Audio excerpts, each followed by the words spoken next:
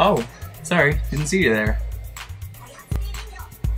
Well, since you're here, I guess I might as well talk about some of the makeup I'm using, huh?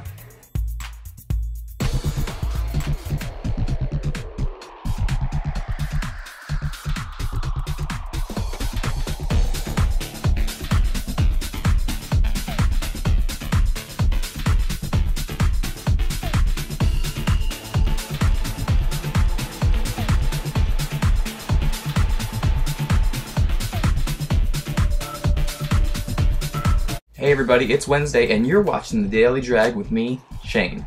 Okay, well usually Melody, but right now I'm Shane.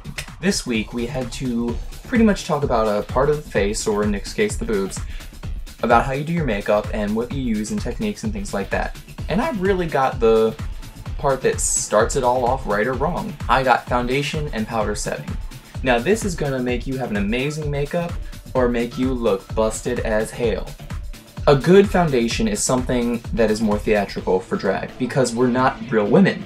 Real women can use CoverGirl and L'Oreal and Maybelline and all that stuff.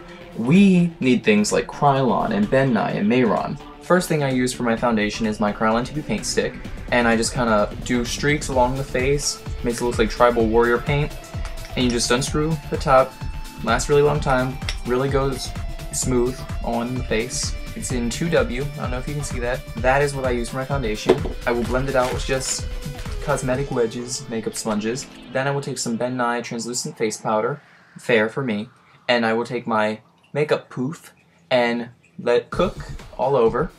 And for places I can't really reach really well like my eye, I like to take my e.l.f.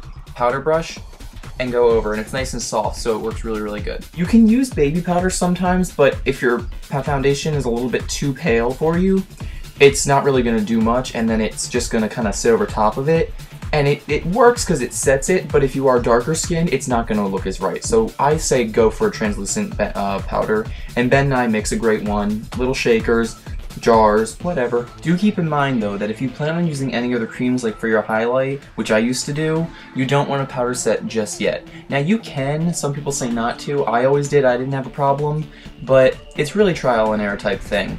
What I use now is a Coty powder, and that works really well because it gives a more of a sheer, luminous look versus like kind of a cakey, smeary look.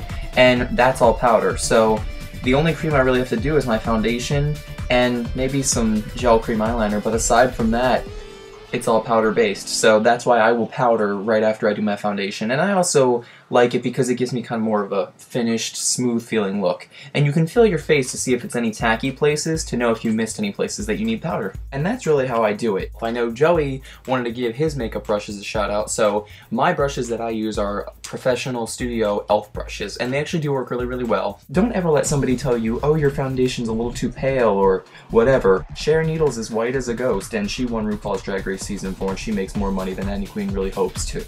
So, if your foundation is pale and you want it to be, work, go for it. And if you don't want it to be, try a new color. Kryolan TV Paint Sticks has like over 100 shades, I'm pretty sure. I'm a 2W, you might not be. Also, can I just say that about two years or so ago, I really wasn't even in makeup, and now I have three cases. I'm not kidding. Look. This is my makeup school case that I do makeup on other people. This is my drag makeup case that I do on myself. And this is my special effects makeup case that I do on myself and other people. I have a problem. I'm like borderline hoarding makeup cases. I think three is pretty pretty good for right now. I don't think I need too much more than that. So now you know how Melody does her makeup. Well, the first part anyway. So I would love to know, even if you do use girl makeup, and I'm assuming it's because you are a girl, let me know, what foundation do you use and what powder do you use? And I want to know because maybe somebody else can use it, maybe somebody's tried something and it hasn't worked. For me, Ben Nye Mehron Kryolan, they work amazing. For you, they might not. So thank you so much for watching today's Wednesday edition of The Daily Drag, and I will see you next week. Love ya. Mwah.